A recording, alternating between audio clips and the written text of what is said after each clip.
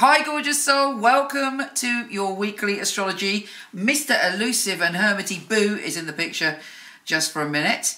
He's my oldest doggy. Anyway, this week we have Venus, the planet of love, shifting signs. We also have the sun shifting signs. And then Venus and Uranus, the planet of the unpredictable, bring a big surprise to our love life. Here's your weekly astrology.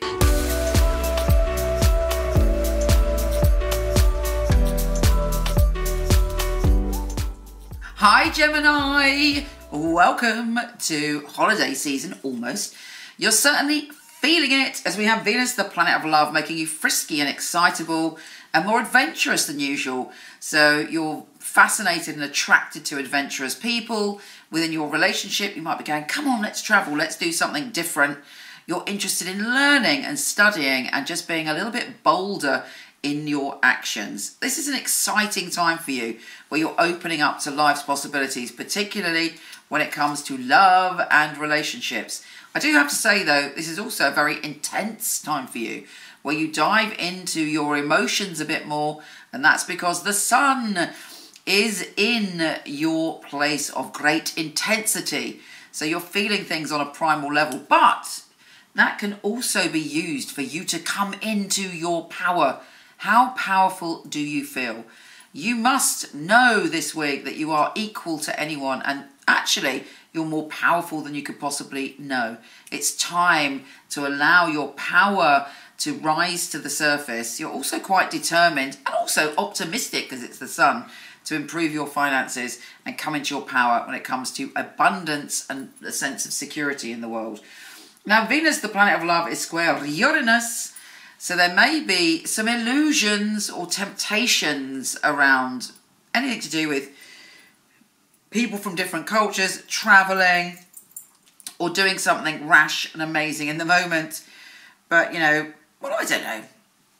It's, even though it's a square, it's not like a bad square. In fact, you can enjoy great pleasure in the square between Venus and Uranus. It's about feeling that you want excitement and you want freedom. Just make sure that you do it in a safe way. Let's see what the tarot has to say.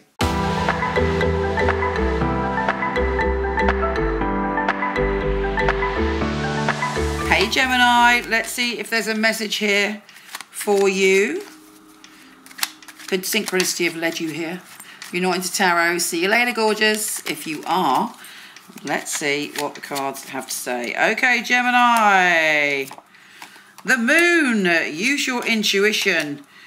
Uh, in fact, recently you had a gut feeling, actually, because this is the recent past and the present. Gut feeling, a dream, a symbol, a kind of message from the cosmos. Did you listen to it?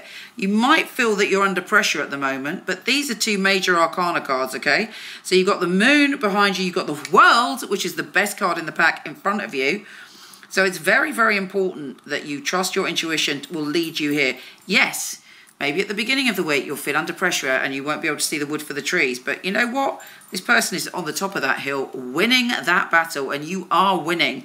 So have faith um, don't allow other people to put pressure on you. You're letting go of stuff, and maybe that was a difficult decision for you, but your intuition and your gut feeling is it's time to let go of certain people, certain experiences, to go after what you want, to achieve the grounded success that you need. You need to be surrounded by the people that support you. Uh, you need a, a, a kind inner voice, and you need to focus on your goal, which is the world. And 100%. 100% you're going to get your goal because it is destined for you. And also look out for, well, I can't say 100% to be honest with you, but, but you know, you've got a very good chance.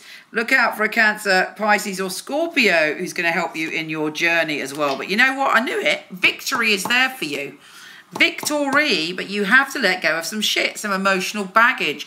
You're going on a journey. Make sure you leave, leave the swords on on the um, water when you get off onto the new shore, which is victory, success, and the world. And also the King of Cups. Take care, gorgeous, and I'll speak to you soon. If you want to check out your written monthly, weekly, yearly astrology, pop over to my website, micheleknight.com. I'm not doing readings at the moment, but I do have a company of some of the best psychics and astrologers in the world I've had the company for 20 years. I handpick them and they are fabulous.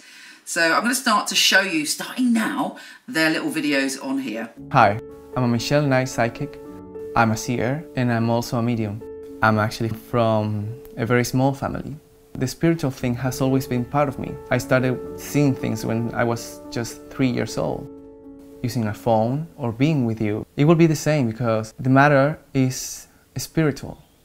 Sometimes I get visions or perceptions or taste or I listen to something or I get the feeling. So through the spirits that might come to, to me to give you the message, I want you to find your own spiritual truthness. I want you to find what you really want and who you really are.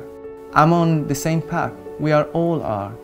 We have the answers that we are looking for within ourselves.